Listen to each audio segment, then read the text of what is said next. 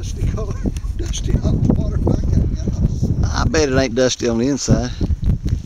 You all right?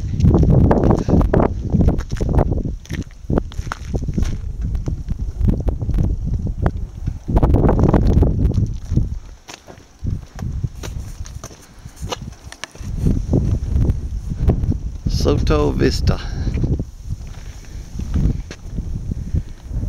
How high are we now, Rick? 5,000? Right there is 6,000 and something feet elevation.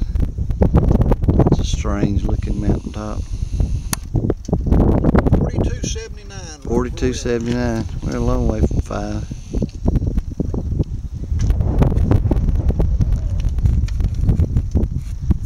Pretty drive up here. Did you see this rock I was talking about?